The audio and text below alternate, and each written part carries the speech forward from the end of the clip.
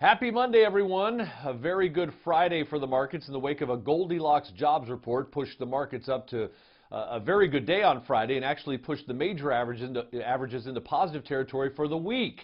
Also, the big news Friday, VSP getting a new CEO. His name is Jim McGrann. It'll happen October 1st. He's going to take over for Rob Lynch. Interesting to know that VSP, one of the most successful organizations ever in terms of the Sacramento area, has only had three CEOs so far in its 60-year history. Jim will be the fourth. Taking a look at the real-time numbers this morning, 30 minutes into the trading day, the Dow's down about 24 points. The NASDAQ is slightly positive. That's a look at your money. I'm KCRA 3 money expert Kelly Brothers.